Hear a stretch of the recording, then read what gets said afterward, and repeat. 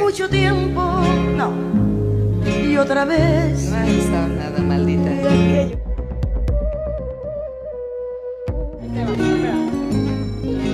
Para que se note que no estamos ensayadas.